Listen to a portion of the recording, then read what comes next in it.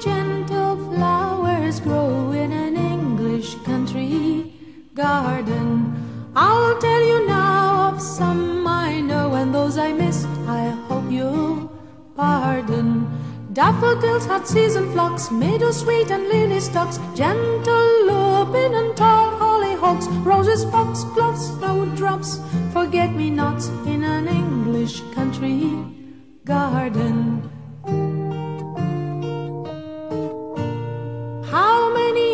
Insects find their home in an English country garden?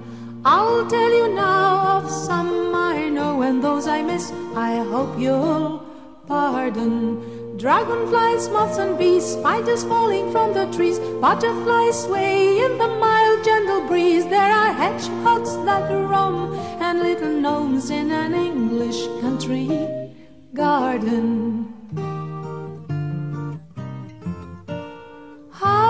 Songbirds make their nest in an English country garden?